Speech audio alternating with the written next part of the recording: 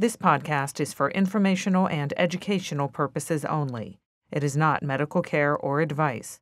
Clinicians should rely on their own medical judgments when advising their patients. Patients in need of medical care should consult their personal care provider.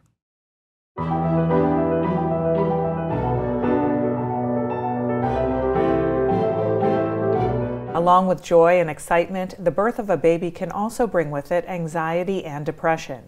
So, what causes it, and what can new moms do to cope? Hi, I'm Tonya Caruso. Welcome to this UPMC Health Beat podcast. And joining us right now is Dr. Sarah DeBrunner. She's a psychiatrist who is part of Behavioral Health Services for Women at UPMC Magee Women's Hospital. Doctor, thanks so much for joining us. Thank you. Let's begin with really how common can anxiety and postpartum depression be in new moms? Sure. Well, it's it's fairly common. Um, so postpartum depression happens in about one out of seven moms, and postpartum anxiety can occur in about one out of five women. So we know pregnancy is not protective, um, which we might have thought several years ago. Um, and so this happens a, a lot more frequently than uh, one would expect. So as we said, you would think this is the most joyous time of their lives. Um, but there are really some physical things that go on to the body that can help to contribute to this. Well, correct. Depression anxiety can happen not just in the postpartum period, but also during pregnancy when mom's body's expanding and she's supporting another um, uh, being. And um, it might bring on body image disturbances. Postpartum, then we see hormonal fluctuations that happen, and that might be a precipitator to developing depression and anxiety when we talk about anxiety, how do you define anxiety? Well, anxiety is a, a fairly general term. There's um, many different types of anxiety disorders. Generally, anxiety is worry, uneasiness, or fear of an event coming up or uncertainties. And so, of course, in pregnancies, there's, there's a lot of uncertainties. There's different types of anxiety disorders, such as generalized anxiety disorder, where the hallmark symptom is excessive worry about mm. things. Um, there's social anxiety, where um, one might fear social situations and even avoid those situations for fear of scrutiny. Um, Post traumatic stress disorder is another type of anxiety disorder when a trauma has happened in the past. Um, it can then lead to a constellation of um, symptoms of anxiety. Panic disorder is another one, which we've all heard of, you know, anxiety with a flood of physical symptoms that come on. I'd also like to highlight obsessive compulsive disorder, which is a related disorder, and this happens at a higher rate in women postpartum. Obsessions are intrusive thoughts or images, um, typically of something bad happening. And compulsions are the um, behaviors in response to an obsession or to quell the anxiety.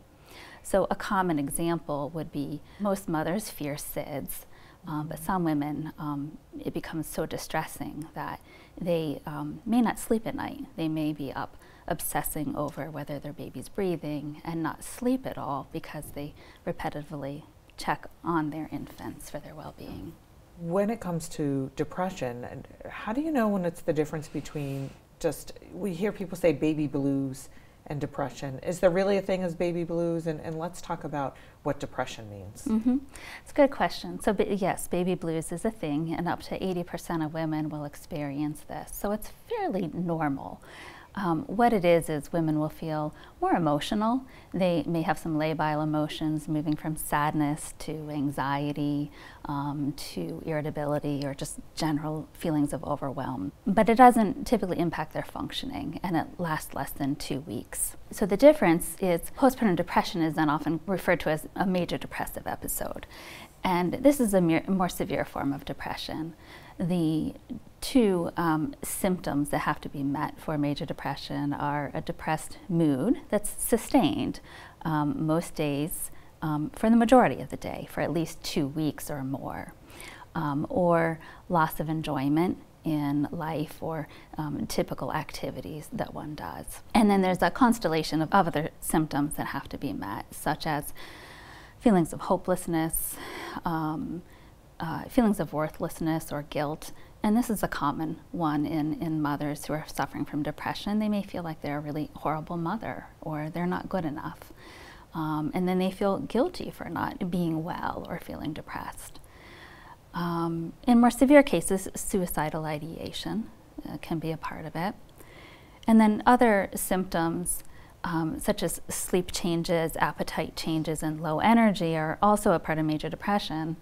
Those are also common in women who are going postpartum. To say, if you've just had a child, mm-hmm. I, clearly you're not sleeping, and and that how does that contribute to it as well?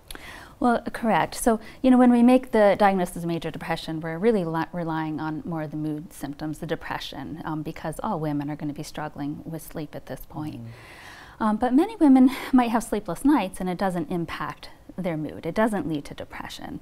Um, certainly for some, we know that insomnia can be a risk factor for depression. Um, so if insomnia is occurring, then that's something to key in on and ask the mom more about and to ask more about then how is her mood um, as well. If you have dealt with depression or anxiety before pregnancy, does that increase the chances that you will suffer with it during and after? Absolutely. So, depression in pregnancy is the biggest risk factor for postpartum depression. And so, um, we often use the term perinatal depression to encompass pregnancy and postpartum. Um, so, it highlights how important it is to treat depression um, prior to pregnancy and during pregnancy to prevent postpartum depression.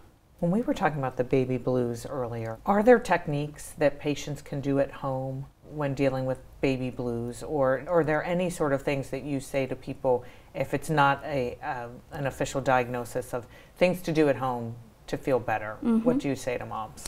Right, I always encourage a little bit of self care. Um, moms often don't feel as though they can take time out for themselves right? They're focused on taking care of their baby 24 7 and they forget about themselves. So I encourage them to find out who in their supports can physically help them, who in their supports can be that emotional go to person, and to ask for the help and accept help. Um, that's really hard for new moms to do. Optimizing sleep can be helpful. There's all sorts of things that can be done, um, setting up shift work for sleeping with a partner or family member, whoever can help mom get the rest she needs. Um, or just having someone there to allow mom to take a shower with without a, a baby, you know, right there, just getting a little bit of a break. Right. So you just went through lots of symptoms how many of those do you have before you should go and get help? And, and what do you want to say to somebody about when they should consider seeking out help? I think in general, um, moms know when they're not feeling well. When they just aren't functioning like they used to, they will know when their mood is just not the same as it used to be. And if there's any doubt about how well she's doing, if there's something wrong, I would seek them to talk to someone right away. And then we can figure out if there's a diagnosis of major depression. Certainly, if a mom's having any suicidal thoughts, that's an emergency and we want her to talk to someone right away. When a mom's functioning is starting to be impaired, let's say she's having trouble taking care of herself or her infant, that's of course a sign that we want her to talk to someone and seek help. So, what does treatment look like? Give folks a sense. And I guess first, talk about the behavior health services for women at UPMC Magee and, and sort of what the thinking was behind putting that program together. Well, sure. Um, this is a very specialized and vulnerable population and often forgotten about. Um, and, and so there's um, specialized care that goes into um, women who are pregnant and postpartum um, especially medication management. It's helpful to have a risk discussion with moms um, to help them make the best treatment plan during pregnancy and postpartum. So there's risks of mental health in pregnancy, there can be risks of medications in pregnancy, and it's our job to help the mom come up with a plan she feels comfortable with after understanding both sides. So that's what we do at Magee Behavioral Health. We have a set of um, therapists and psychiatrists that all specialize in, in women's mental health. We have our general outpatient services, um, and then we have um, more intensive outpatient programming, um, which is called the NEST IOP. And that's for moms who are struggling with more moderate to severe illness and they might need a little bit more treatment and that includes individual therapy, group therapy, and medication management if it's warranted. Can you talk a little bit about um, how you really work to balance medication, therapies. It's not a one size fits all approach. That's correct, and all women will make a different decision on their on their treatment and what they feel comfortable with. With mild depression or mild anxiety, we always start with psychotherapy, and that can be quite effective in managing someone's symptoms. Um, when symptoms become moderate to severe, we also introduce medication management as an option. Both therapy and medications tend to be the most helpful. And what do you want to say about stigma? Um, for a long time, there was lots of stigma attached to therapy, etc. Do you feel, I guess, first that that stigma is going away and that people are recognizing taking care of your mental health is important? Right. I think we've improved with stigma. Um, you know, celebrities have come forward and shared their stories about their struggles with postpartum depression and anxiety, and I think that's helped women not feel alone. Um, it's still an issue, though. And the dilemma with stigma is it certainly prevents moms from coming in and seeking help. Um, they might feel as though if they're struggling, they're going to be viewed as an unfit mother, and they worry about how others will view them. We know that problems just proliferate in the dark. Um, and unfortunately, mom's depression and anxiety can impact the health of their baby. Um, so this does become a driving force for women to come in. It's a good motivating factor for them to seek help. Um, but if someone's struggling, I always encourage women reach out to a family or a friend who you think might be understanding, or reach out to us um, because we don't want any mother to be suffering alone and in and in isolation. Right. One thing we should point out is a mother saying, I'm busy enough, I can barely take care of my baby, I'm dealing with this depression. I don't have time to drive and go sit in an office and have a therapy session. But that's not necessarily the case. Not anymore. Yeah. So, with the pandemic has brought on telehealth services.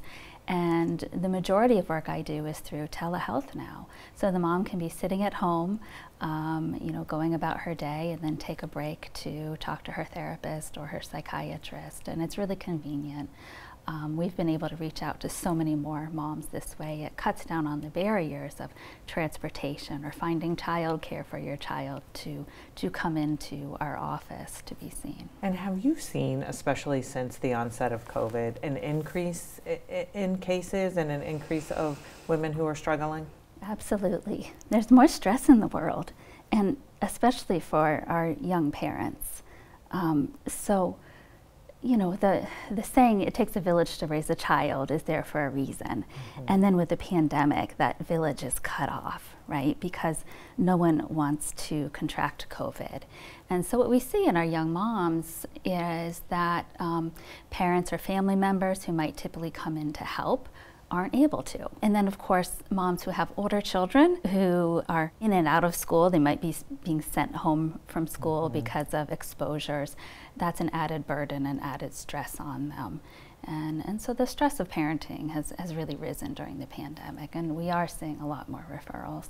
And so, how do you define a success? What's a success story for you? Well, a success story is a mom that gets to the point where she's feeling back to herself, right? Um, she's doing well. Um, she feels happy. Um, she's enjoying life. Um, she may still be on medications a year postpartum, or she might be at the point where she feels well enough she can taper off of medications. And I've had many patients who have sent me messages after they've had their second child and um, they got through their pregnancy well, they didn't have postpartum symptoms they're so excited to have gone through the process in, in a better way, right? Without um, feeling down and out and being able to enjoy their pregnancy. And often they've picked up a lot of tools in the first pregnancy to have helped them do that in the second pregnancy. And that's such a success to see that they've gone through this struggle and you know they've been able to move on and, and have another child and, and really do well. Dr. Sarah DeBrunner, thank you so much for coming in and spending some time with us today. Some great information. Thank you. You're welcome. I'm Tonya Caruso. Thank you for joining us. This is UPMC Health Beat.